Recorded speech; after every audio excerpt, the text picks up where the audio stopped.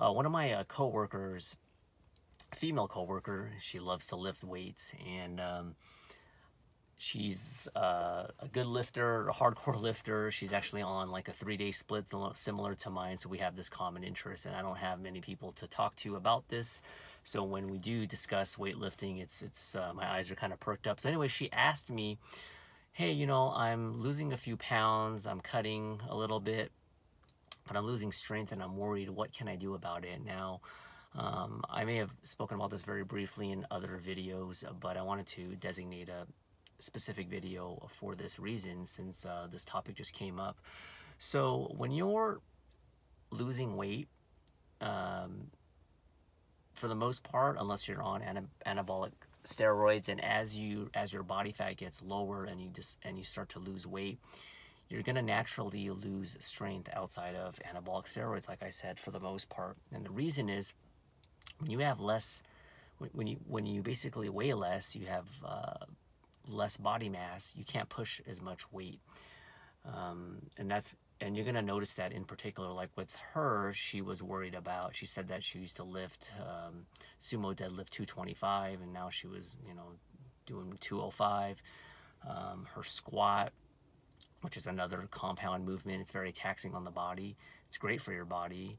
It's a compound movement, hence it works multiple parts of your body, but it can it can really get taxing on your body, like I said, and we don't have as many calories because when you're cutting, you're in a caloric deficit. That's basically what it means.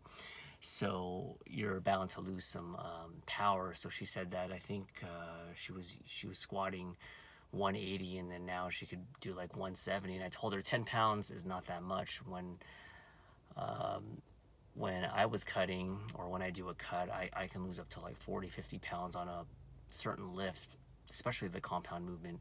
So it's nothing to be alarmed about. But if you're um, all about numbers and you're, I wouldn't say she's obsessive, but if you're kind of concerned about losing power, then you're to have to compromise because um, it's just not going to happen. It's bound to happen. So this is just a warning not to be alarmed. This, this is not going to make you lose any muscle gains. That's why when before cutting, if you do it properly, your job is to, I wouldn't say get fat, but you can eat a little bit more in a surplus, a slight surplus, and then uh, lift hard, um, maximize your lifts so you can pack on as much muscle as possible during that. I wouldn't, I wouldn't, I don't even call it like a bulk phase anymore because I don't like that term because I think bulking, uh, purposely bulking could just mean you're getting fat, but being in a little bit of a surplus and then pushing a more weight, that is the time to pack on the muscle. So then when you do decide to go on a cutting phase or a losing weight phase, whatever, whatever you want to call it,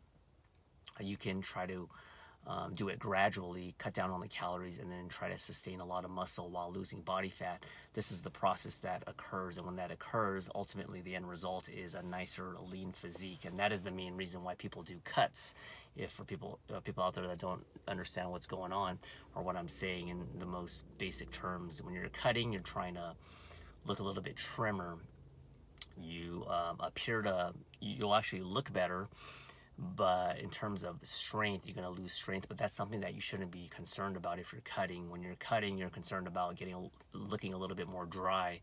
You want to uh, use the eye test the mirror and that's what's the purpose. That's why like even bodybuilders that are on steroids and or if you're doing um, a photo shoot or something even though you may look aesthetically the most pleasing you're probably going to be close to your weakest. So it's very very strange. You may look more muscular but you're actually really um, not as strong. Very, very common. Uh, real quick before I depart, um, isolation type exercises like uh, if you're doing a tricep pull down or just anything that's machine assisted, you may not lose as much power because as the term machine assisted, the machine does a lot of the weight for you. But when you're doing compound movements and free weights, which I highly recommend, you're recruiting more muscle fibers in like when you're bench pressing that's why i recommend free weights. You, you don't have the machine to help you and you're recruiting more muscles muscle fibers. You have, you have to make sure the bar is balanced and it's more taxing on the body so and that's the reason why you will see more uh, strength loss in when you do those types of free weights you know the squats the deadlifts the lunges the pull-ups stuff like that. So that's it for this video. Um, don't worry about it. Um, there are small exceptions that for cardiovascular type exercises. Um, depending on how much body fat you have to begin with, you may not have this effect because um, anaerobic versus aerobic aerobic exercise versus anaerobic is slightly different on the body. Um, but um, I don't want to complicate this too much. So if you don't experience this and consider yourself lucky, and or it may mean that your body fat's still high and you still have those reserves. But as you get leaner and more dry and more shredded, expect uh, this to happen. Uh, one last thing that you can do to counter it before I forget, that's very important, is you could take some uh, green tea, some coffee, kind of like a pre-workout or a pre-workout drink.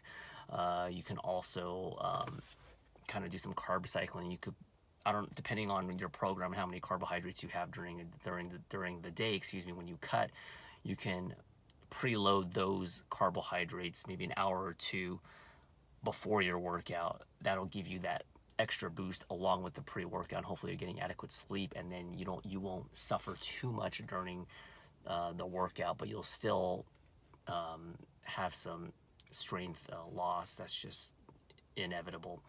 That's my time. Hope that makes sense. Thanks for watching. Comments, questions, always welcome. I'll talk to you next time. Bye.